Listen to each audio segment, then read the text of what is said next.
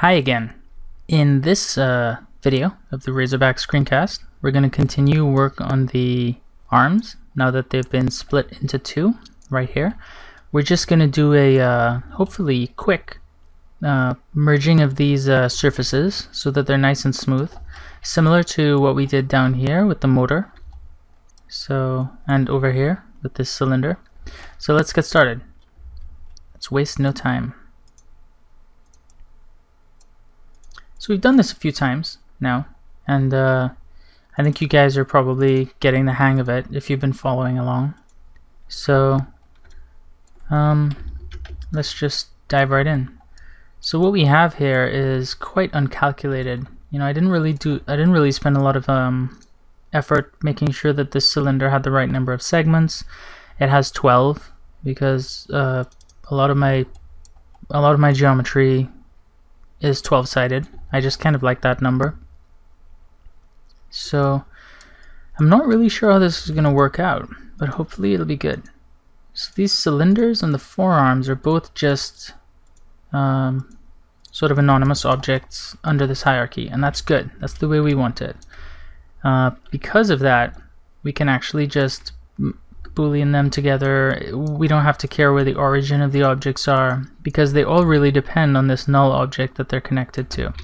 So that's that's what we care about the most. So I'm just going to dive right in and start uh, processing this. So I have a bunch of stuff hidden and I'm going to start with this set. So in order to boolean these together, well, there's a few different ways to do it. We can explore those ways, but I'd prefer to just get down to it. So the first thing I'm going to do is close this off because booleans like solid objects and then I'm going to move it. Maybe instead of closing it off and moving it, I can just use the line tool with a cut right there and another cut somewhere around here. And I'll replicate those cuts on the other side. So right about there and another one on the inside so we can cut off the excess stuff. So now we can select both of our both of our uh, arm objects and we can just select the geometry on the inside that we isolated and we can just get rid of it. So that makes it a little bit easier as our geometry doesn't poke all the way through.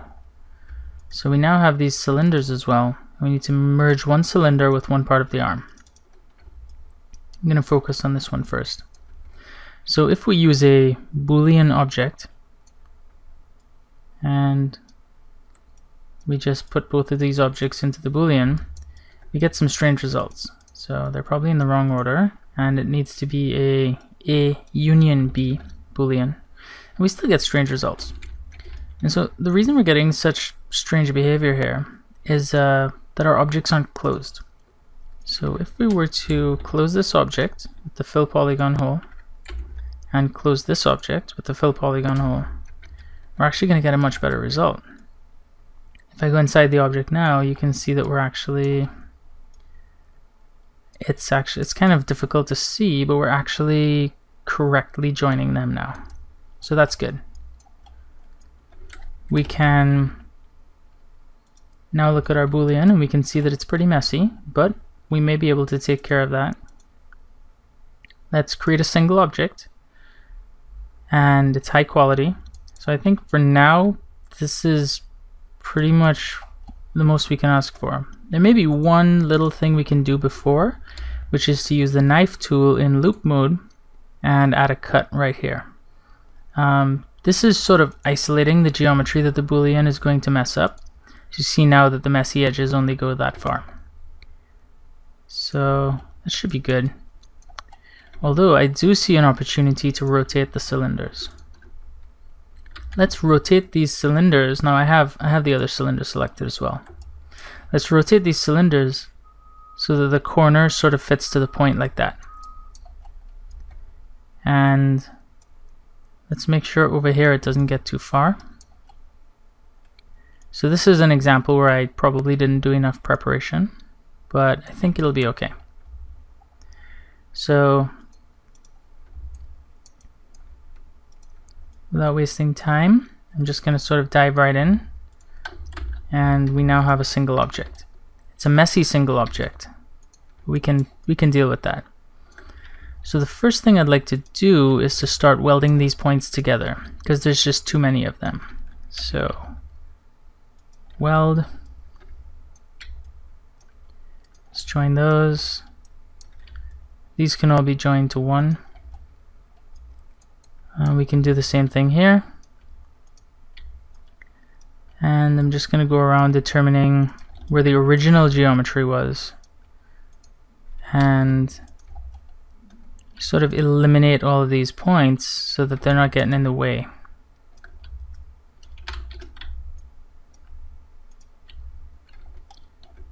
So this is no original geometry, this part is. And we can continue right down here.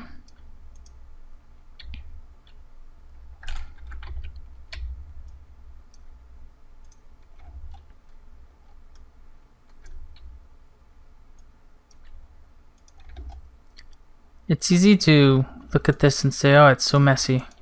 But if you just take it one step at a time, you'll be done with it.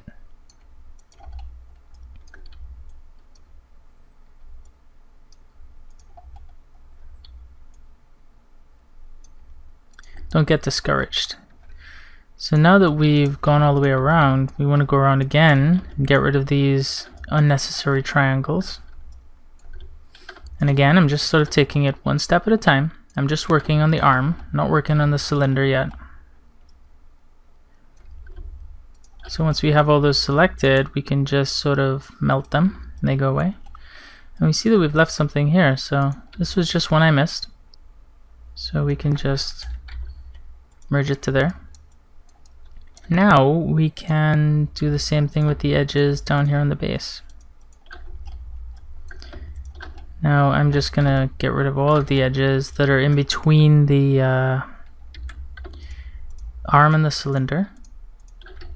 I'm gonna carefully calculate which edges get to come back. And this, this may not work out okay. These booleans sometimes have to be done twice. So there we go. Now we have a much cleaner, uh, cleaner setup. And what we can do is we can start off by making one or two connections. So I'm just going to use the knife tool in line mode, visible only. I'm going to make one cut there and another one here. I'm going to try to make them as natural as possible. So down here I probably don't want to put one because those shoot off at funny angles. And I could probably put one here. So now that we have those connecting edges, um, it should make it a bit easier for us to do this bevel. So we just select this edge right here and we just do a bevel. Let's do zero subdivisions. And let's do a nice soft large bevel like that. Even though I know that things down here are getting messed up, we can move those. So now that we have this bevel, we can select these edges that overlapped right here. And this axis is still aligned to our original object, our cylinder, I believe. So we can actually just grab this blue handle and move it in like that. Um, we can probably do something similar right here.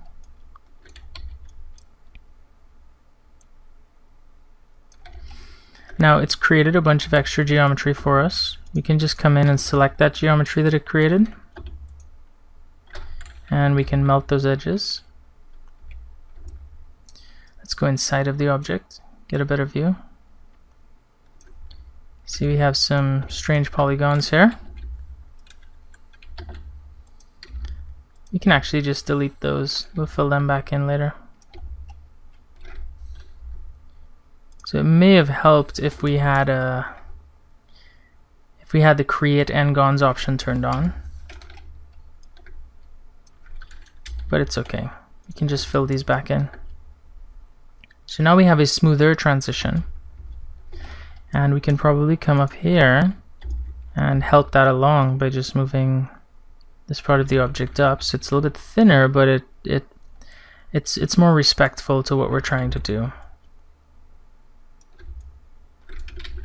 It looks like we can actually benefit by moving these out. You know, when things flow so organically as the result of a boolean operation, it doesn't have to be perfect, and you can really bend the rules. You don't have to stick to the geometry that was given to you. Okay, so we have a smooth transition. It's not properly quadrangulated and it looks kind of weird at some of these points but we can take care of those. All we need to do is uh, move things around a bit and try to find a, a nice quadrangulation pattern. So if I select some of these I can sort of move it around. Okay.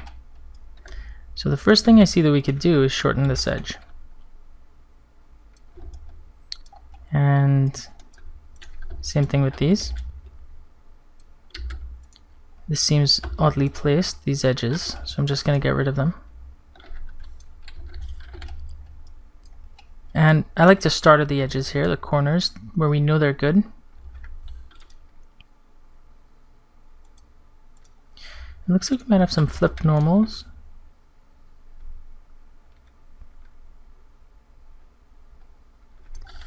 I'm just going to optimize that just to be sure.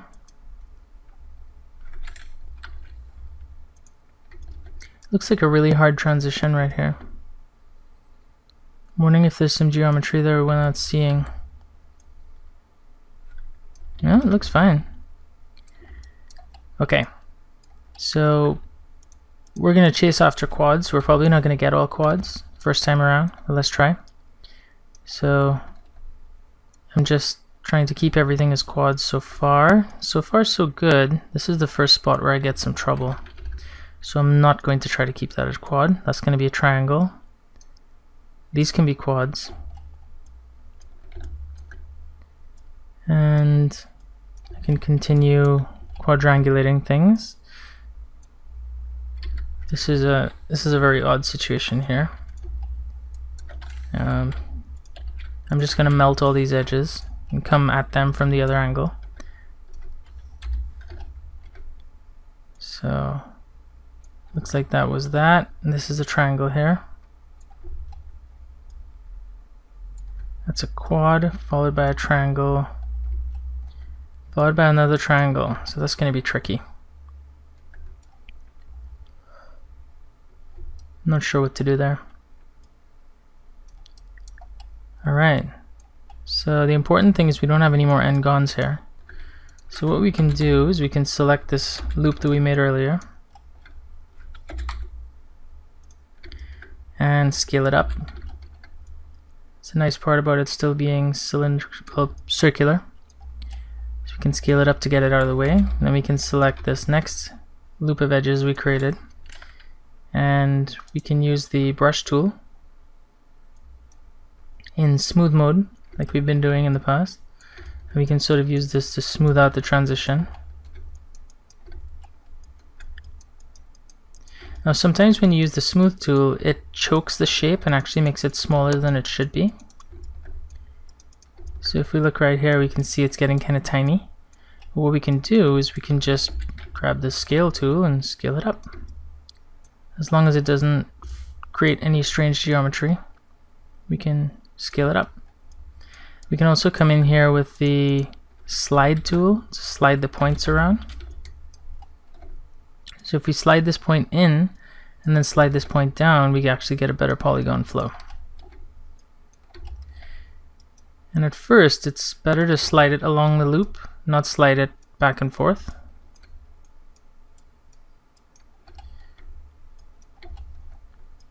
So that's that's that's looking pretty good we do have this issue of these few triangles left around. I may have a fix for those.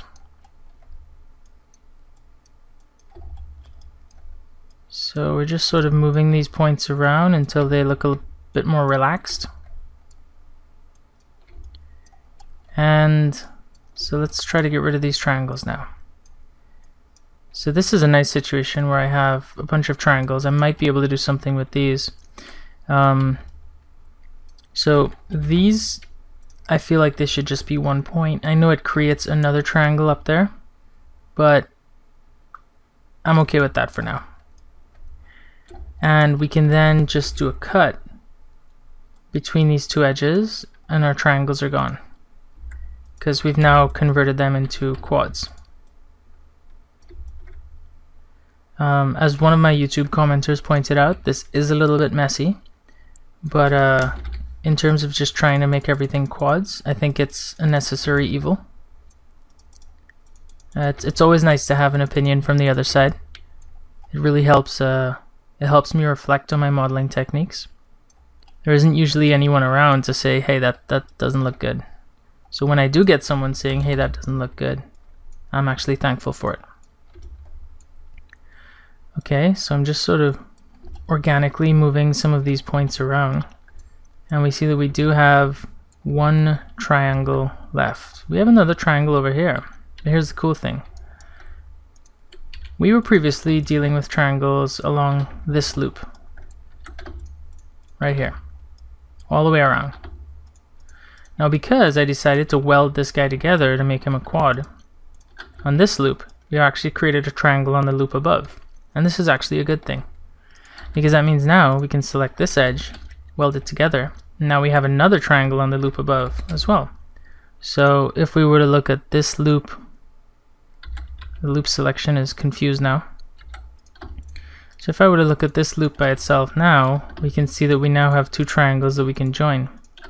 And similar to the last time I, I, uh, I upset one of my YouTube commenters, by creating extra geometry here, I can do it again. So I'm just going to use the path mode. And I'm just going to go along like that. There we go. Triangles are gone. Now, again, we do have some geometry that doesn't belong and is arguably excess or messy, but we have no triangles. So uh, you got to take the good with the bad, I guess. So now we can uh, smooth it out a little bit more. And these are definitely getting pulled in too much, so I'm just gonna forcefully pull them out and scale them away a little bit. And now I can smooth them again.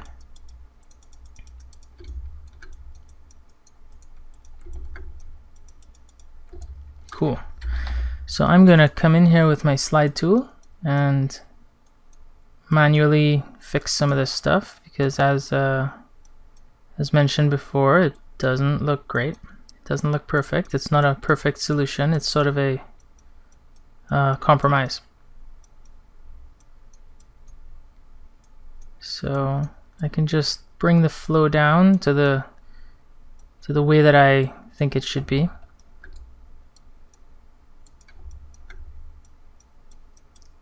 I mean, every situation is different. In this situation here, I didn't really create enough um, enough leeway for myself before I did the boolean operation. So what I'm dealing with here is the typical consequences of doing that. But again, I don't think it's that big a deal. This is just part of modeling, part of having this eye, knowing what geometry is okay, what geometry isn't okay. And you really only develop this by, you know, creating a ton of models and um, criticizing them, having others criticize your work. Critique is really good. It's it's so necessary and so useful in 3D. So uh, yeah, so we have we have quads. We have arguably not great geometry, but I think it'll do for our purposes. I also made an effort to make sure it's on the underside, so it's not that visible. So I'm just using my brush tool again to smooth things out. Just gonna scale it up a little bit, maybe slide it around.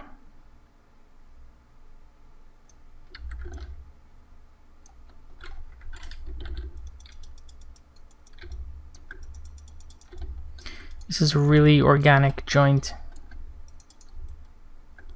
Maybe too organic. I'm gonna undo some of that stuff I was just doing.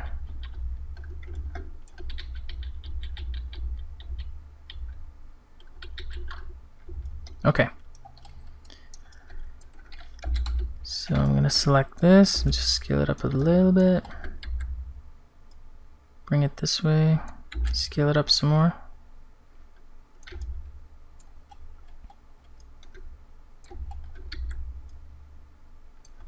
Looks good.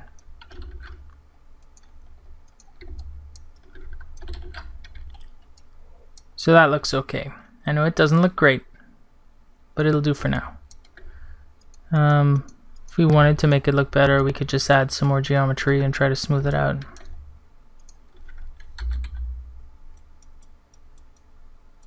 So what I'm going to do is I'm going to apply the final bevel to the edge of this and then I'm going to do it to the other side of this arm. But I'm not going to actually do a video on that because it's going to be doing the exact same thing but in reverse order. Not even in reverse order. It's it's it's going to be me doing exactly what I just did again.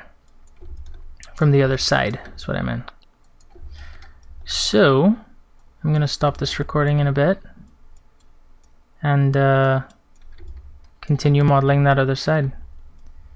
But before I do, I'm going to select this loop of edges right here and bevel them, subdivision of 2. If we just hit apply, we should get, oh, it's too big. So we can just bevel it like that. And then I can select these polygons and remove the n-gons and we have right there one side of our arm.